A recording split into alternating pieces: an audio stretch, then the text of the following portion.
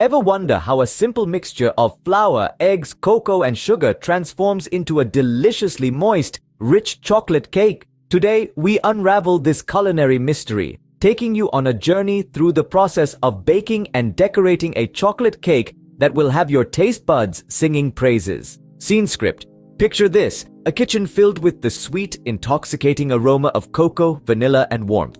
It all begins with the basics. You'll need some flour, sugar, cocoa powder, baking powder, baking soda, salt, eggs, milk, vegetable oil, and vanilla extract. These humble ingredients are about to create magic. Start by preheating your oven to 350 degrees Fahrenheit. A warm oven ensures an even bake for our cake.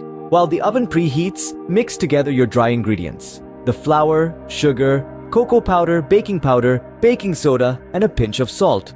Stir them well, ensuring they are thoroughly combined. Next, crack open the eggs into a separate bowl. Whisk them lightly before adding them to your dry mixture. Pour in the milk, vegetable oil, and a splash of vanilla extract. Fold these ingredients together until they blend into a smooth batter. Remember, overmixing can lead to a tough cake, so mix just until everything is well incorporated. Now pour this rich chocolatey batter into a greased cake tin. Slide it into your preheated oven and let it bake for about 30 to 35 minutes or until a toothpick inserted in the center comes out clean. While the cake bakes, imagine the masterpiece it will soon become. The cake is your canvas and the icing your paint. For a classic chocolate cake, a velvety chocolate ganache makes an excellent choice. To make this, you'll need heavy cream and dark chocolate. Heat the cream until it just begins to simmer, then pour it over the chopped chocolate. Stir until it forms a shiny, smooth ganache. Once the cake has finished baking, remove it from the oven and let it cool. Patience is key here. A hot cake will melt your icing. When it's cool to the touch, spread the ganache over the cake, letting it drip down the sides. But why stop there?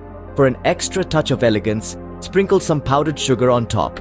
Or, for a fun twist, dot it with colorful sprinkles. The decoration is where you can truly let your creativity shine, so don't hold back. And there you have it.